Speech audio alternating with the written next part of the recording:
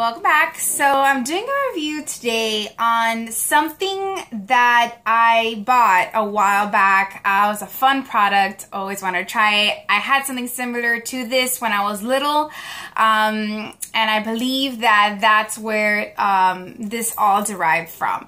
So I'm going to do a review on the lips, one of Lipstick, uh, Lipstick Queen, their Frog Prince uh, lipstick. It is green. The lipstick is green. Obviously, I've used it. It doesn't come out green. It works with the pH of your skin and it changes into a pink color. Now, let me show you. See? It's not coming out green.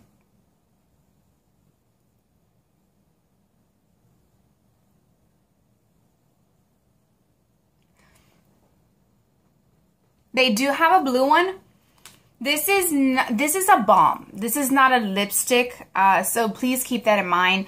It is a very shiny consistency. As you can see, it is a lip balm. It's very sheer. Um, it's very moisturizing. Um, I definitely love it. However, the only thing that you need to keep in mind is that this lip balm really stains your lips. So my lips will be extremely extremely pink when I wipe this off. Um, I bought this uh, full price at Ulta is where I was able to find this. Uh, I wanted to try something fun. It's something fun to have in your purse, throw it on uh, during the day if your lips are feeling kind of dry or you kind of don't really have want to have so much lipstick on. Um, so do keep that in mind. I mean, I really did love it.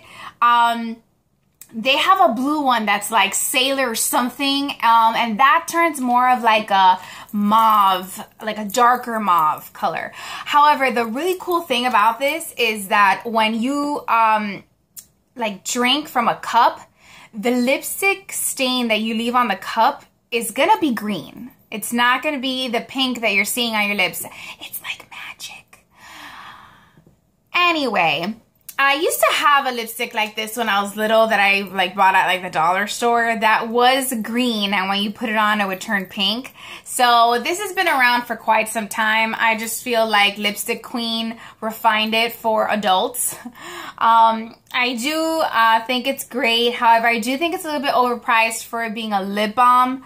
Um, but I guess you're paying for the magic um, in it. So do keep that in mind if you've been thinking about picking this product up. I mean, they've talked about this on Y100. Um, um, all over the radio. People have been posting about this on Instagram. Uh, it's just so fun. So I believe it was $28. I paid $28 for this lipstick.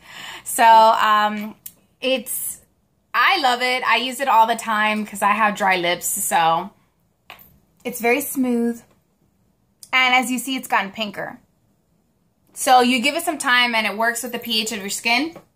And it ends up turning your lips a lot more pink.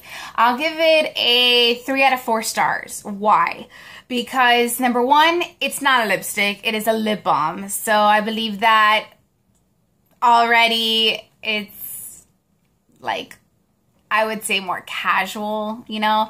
Um, and second, I don't like the fact that it stains your lips a lot. Um, when I take this off, I'm not gonna be able to wear uh, maybe a lighter uh, lipstick because you're gonna you're gonna be able to see that strong stain um, on the lips. So that's the only thing I have to say about it. And I do believe it's a little bit overpriced for being a lip balm. I mean, it's not a lipstick, you know, it is moisturizing, but at the end of the day, when I go out at night or I'm gonna go out somewhere important, I'm not gonna throw on a lip balm. Um, so anyway, I thought it was helpful. You can pick this up at Ulta. Um, and I believe that Sephora might carry it, but I believe they only carry it online. I don't think that they have it in the store. I haven't seen it yet, um, but I know for sure that Ulta does carry it in the store. So I hope this video was helpful and thank you for watching.